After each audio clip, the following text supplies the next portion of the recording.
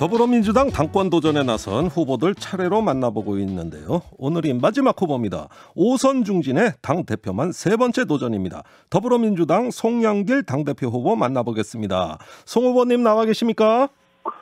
네, 송영길입니다. 반갑습니다. 네, 반갑습니다. 네. 자, 당대표 벌써 세 번째 도전이시네요. 네. 예, 이렇게 삼수, 사수하고 계시는 어떤 각오로 임하고 계신지 궁금합니다. 네. 필사즉생의 각오입니다. 필사즉생. 네. 어우, 결연하시네요. 절박, 절박한 심정이죠. 저는 뭐 마지막이라는 각오로 뛰고 있습니다. 예, 마지막이다. 어우, 굉장히 뭐 아주 그 결연한 말씀 해주시는데요. 자, 모든 당 대표 후보들이 하나같이 당이 위기다. 이런 진단 내리고 네. 있어요. 네. 동의하시는지요? 그렇습니다. 예, 위기로 진단하는 이유 뭡니까?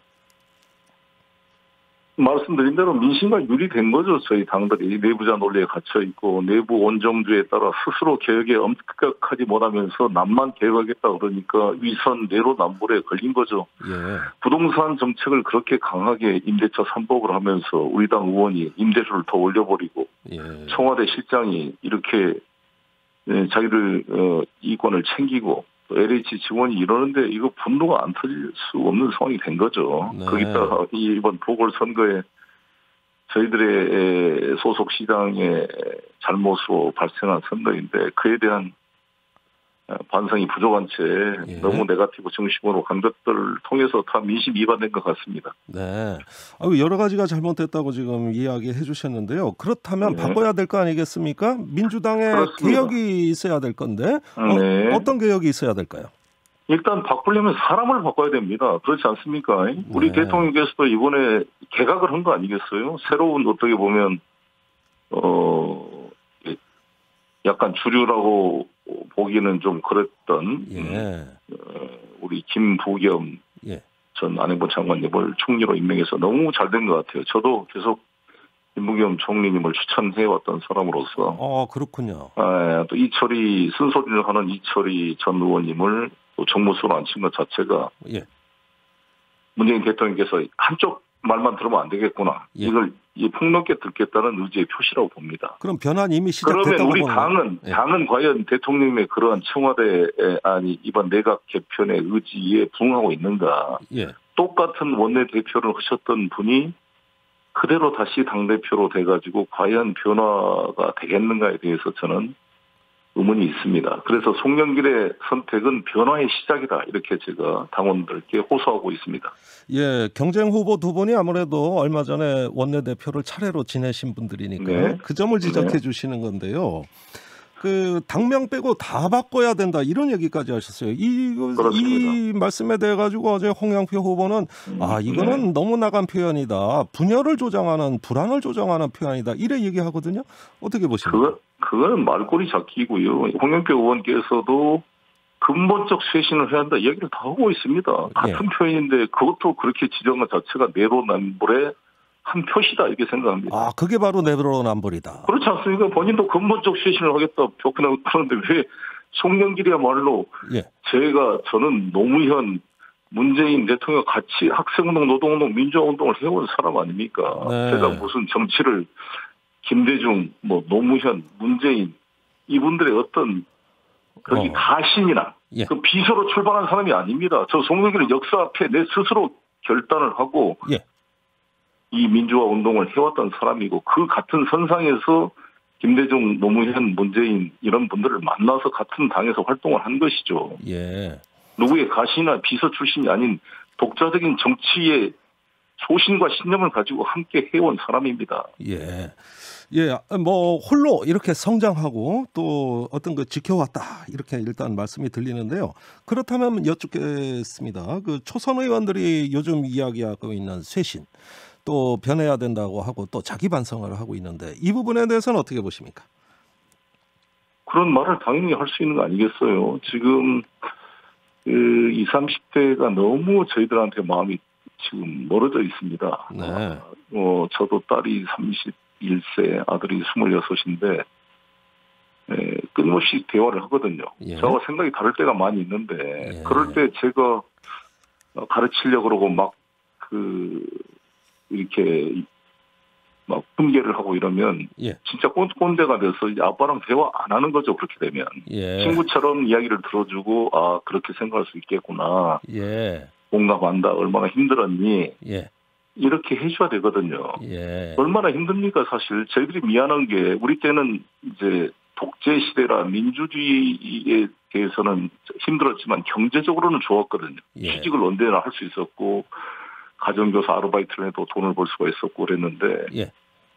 요즘 아이들은 너무 힘들어요 사실. 예. 우리 딸도 정말 너무 힘들고 보면 예. 학봉에 그냥 그 무기계약직에 일하면서 살고 있는데 어, 그렇습니까?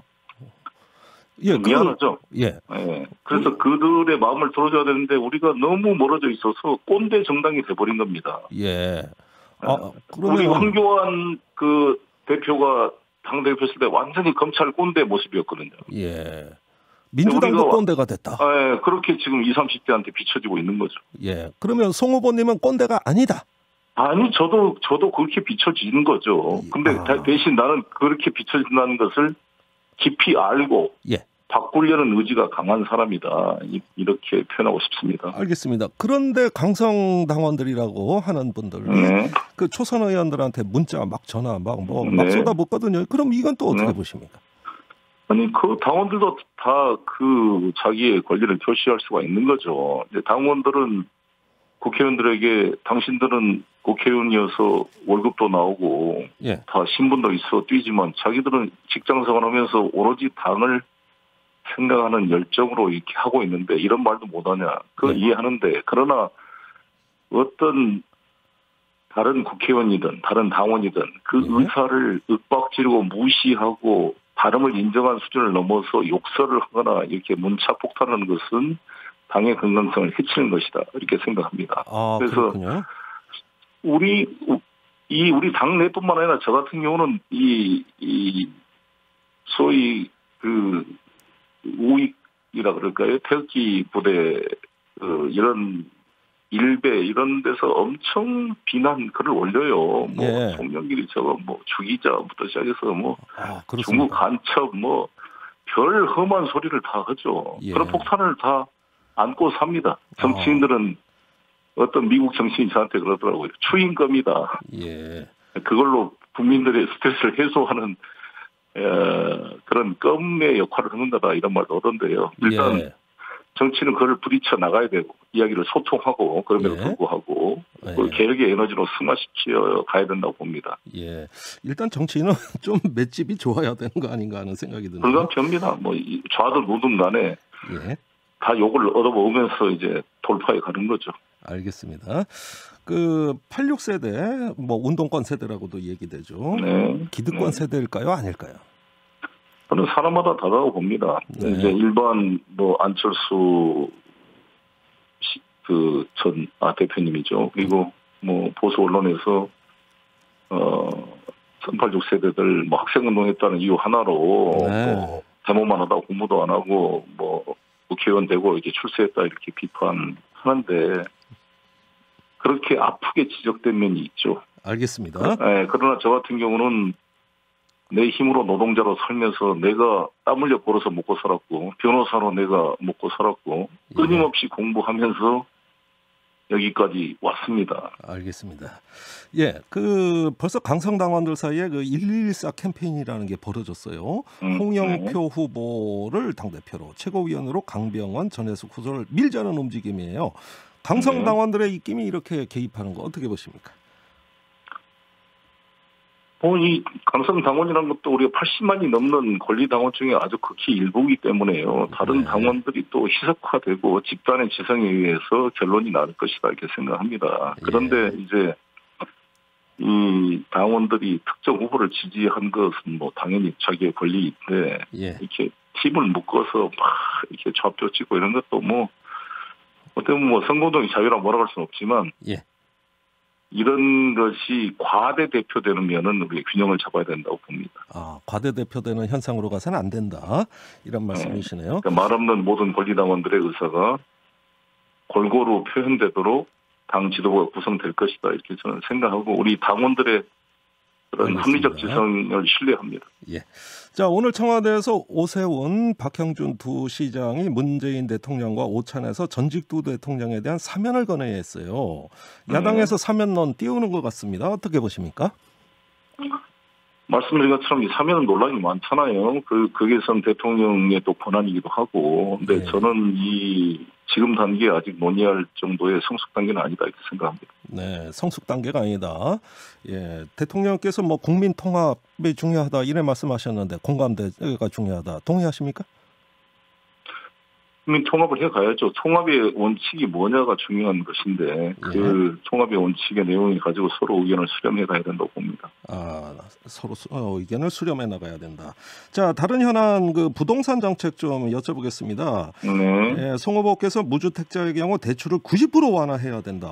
네. 그래서 박근혜 정부 때보다 더 대출을 풀어주자는 거거든요. 이게 집값 폭등으로 이어질 우려 없습니까? 박근혜 정부 때는 다주택자 이런 구분이 없었어요. 실제로 제가 제기한 문제는 딱 예. 90%에 고정된 문제가 아니라 현재 40, 50, 60% 되고 있는 LTV를 예, 생애 첫 주택을 구입하는 자한테 페이버를 주자. 아하, 지금 그 한 번 주택을 샀다 팔았다 이런 사람이 아니고 예, 처음 한번 음, 첫 생애 주택을 구입하는 사람들한테 집을 살 기회를 줘야지 집값이 오른다고 집을 살 수 있는 사다리를 걷어내버리면 예, 결국 영원히 돈 현금 있는 사람만 집 사고 전세방에 전전해라는 것입니까? 예. 그런 논리라면 임금 인상되면 물가 오르니까 임금 인상하지 말라는 논리와도 연결될 수 있는 것이고 예, 집값 오르는 것은 다른 방법, 공급 확대라든지 제가 준비하고 있는 누구나 집 프로젝트 같은 걸 통해서 분산하고 집을 지금 이 LTV를 해준다 그럴 때 이 사람이 대상들은 우리나라 집 없는 44% 중에 10% 정도가 집을 살 의사가 있는데 그 중에 약 4, 5% 정도 정도밖에 안 될 거라 보여지고 그것도 대상들을 분화시키면 됩니다. 투기적 같은 걸 제외하고 이렇게 예. 해서 저는 충분히 할 수 있다 이렇게 생각합니다. 예, 여쭤볼 현안이 많은데요. 시간이 많지가 않아서 아쉽네요. 그 러시아 백신 얘기는 왜 하신 겁니까? 러시아의 스푸트니크 백신도 들여오는 거 검토하자 그러셨죠? 아시다시피 스푸트니크가 지금 3대 백신 중에 하나 아닙니까? 아스트라제네카, 파이저와 함께 예. 노바백스도 이제 나오고 있습니다만 스푸트니크가 60개국에 사용되고 있고 현재 알려지기로는 96%까지 효과가 나온다 이런 이야기가 돼 있는데 아직 검증이 부족해서 우리 EMA에서 검토 중에 있고 예, 우리 식약청에서도 검토를 하겠지만 그거 검토돼서 끝나고 나면 확보하기가 어렵습니다. 그렇지 네. 않습니까? 지금 우리 백신 확보도 비판한 게 왜 초기 단계에 배팅을 못했냐 이렇게 지적하고 있잖아요. 네, 안정성만 따지다가 너무 시기를 어 안이하게 늦춘 거 아니냐 이런 지적이 있는데 예. 이 스푸트니크도 미리 확보를 해놓으면 플랜 B로서 중요한 의미가 있는 거 아니겠습니까? 알겠습니다. 네. 예, 정의용 외교부 장관이 그 IAEA 기준에 따른다면 일본의 원전 오염수 방류를 반대하지 않겠다 이런 네. 발언을 해가지고 또 일파만파가 됐어요. 어떻게 평가하세요? 네. 그렇죠. IA 기준이 되면 뭐 하겠다는 수동적 자세보다는 적극적인 의사표시를 통해서 이의 위험성들을 지적하고 미국을 설득하려는 의지가 필요한 게 아닌가 이렇게 생각합니다. 네, 그러니까 그 발언에 대해서는 좀 너무 소극적이라고 보시는 거죠. 그렇습니다. 예. 그러면 적극적으로 뭐 국제 재판소에 제소도 하고 이런 어떤 태도 필요합니까? 글쎄요. 그런 뭐 제소와 어- 지난번에 그 미국서 핵실험 때문에 미, 이 일본 어부에 피해가 있어가지고 미국을 상대로 소송을 하고 배상금을 받은 경우가 있습니다. 아, 알겠습니다. 아, 여러 가지 사례를 봐야 될 거라고 봅니다. 예. 마지막으로 당원과 청취자들에게 한 말씀만 해주세요. 네. 저는 지금의 핵심은 백신 확보와 부동산 문제를 해결함으로써 유능한 개혁 국민의 신뢰를 얻어서 어, 내년 대선에 승리하는 게 중요한 당대표 임무라고 생각합니다. 네. 저는 뭐 국제 외교 역량과 인천시장으로서의 경험을 가지고 부동산 문제와 백신 확보를 하는데 정부를 적극 협력하는 집권여당의 대표가 되겠습니다. 국민의 걱정을 풀어드리겠습니다. 알겠습니다. 자, 오늘 말씀 여기까지 듣겠습니다. 네, 감사합니다. 감사합니다. 감사합니다. 더불어민주당 송영길 당대표 후보였습니다.